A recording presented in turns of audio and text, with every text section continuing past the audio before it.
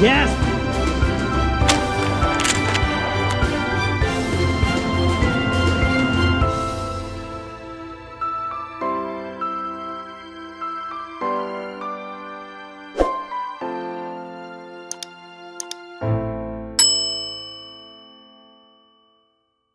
Hey guys, welcome back to another video.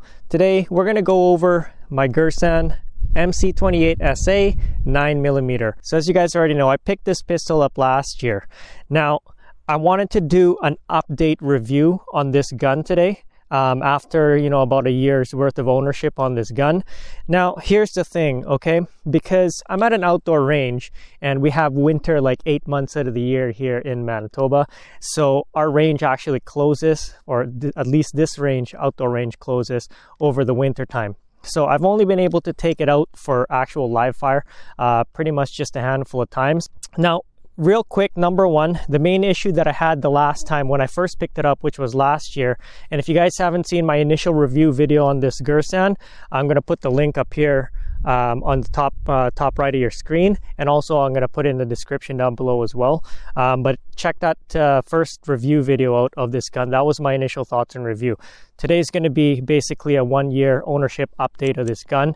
Real quick though, the main thing that I had an issue with the last time was the sights. Um, both sights, not just the rear sight but the front sight, um, kept on coming off um, over the past couple times that I used it at the range uh, last year. And so what I did was I put some Loctite on it and I've taken it out probably about three, four times now so far this year since the range opened up in spring and uh, haven't had any issues yet. There hasn't been any play or any move on either of the sights ever since then. So it looks like the Loctite did its job. But yeah, I mean, besides the sights, from the handful of times I've taken it out so far this year, it's been going pretty well. So let's shoot it a few times and then we'll talk about our final thoughts after one year of ownership on this gun. And we'll see if it's worth it for you guys in my opinion at least um, if this pistol's been you know on your mind something that you've been thinking about uh, considering getting. So hang tight and we'll do some shooting right away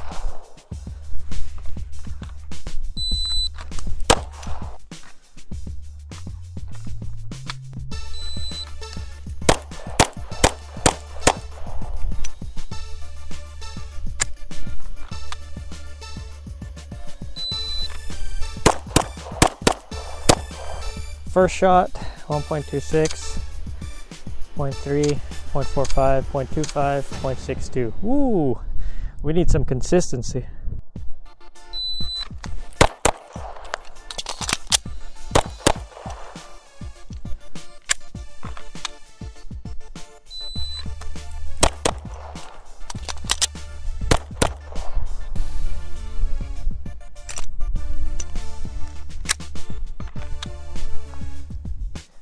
Right, there we go.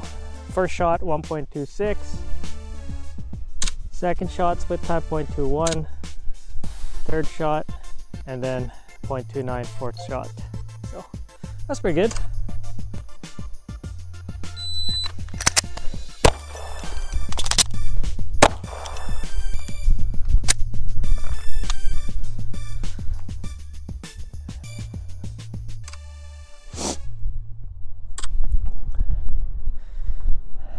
So 1.64 for the first shot if I'm not if you don't carry one in the chamber.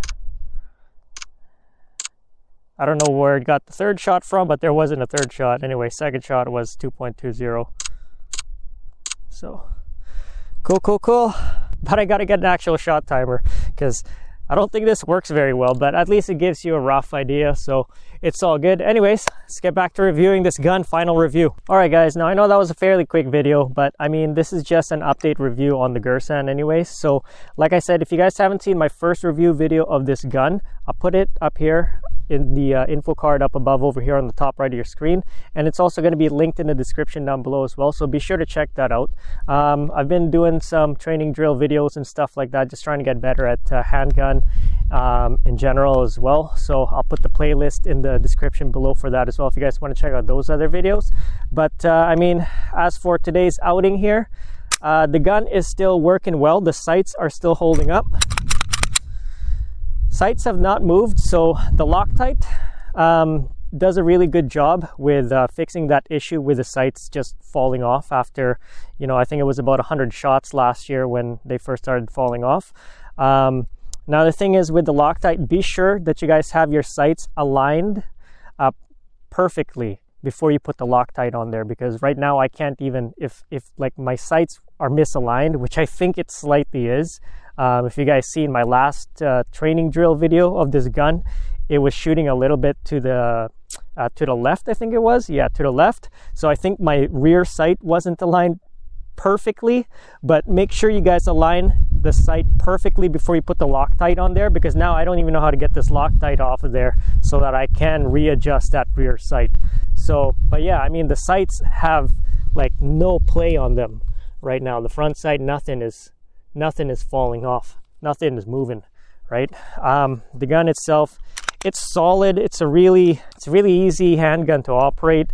I really like it. The best part about it is the price point. Like I said previously in my last review video, this gun, uh, the price point is probably the best part about this gun. It's just such a good entry level handgun. So if you guys want to get started with handguns, uh, but you don't want to spend the money on you know the higher end uh, pistols, um, I would highly recommend getting yourself a Girsan MC28.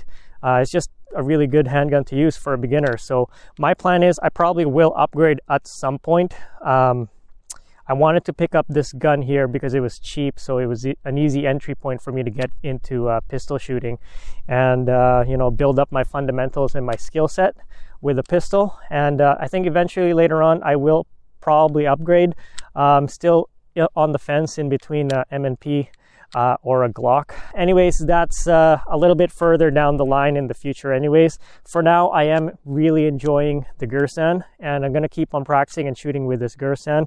And uh, if you guys have been on the fence about getting one, I'd say definitely worth it. Check it out, try it for yourself. I'm sure you're to love it too. Again, if you guys haven't seen my other videos, I do a lot of other gun review videos.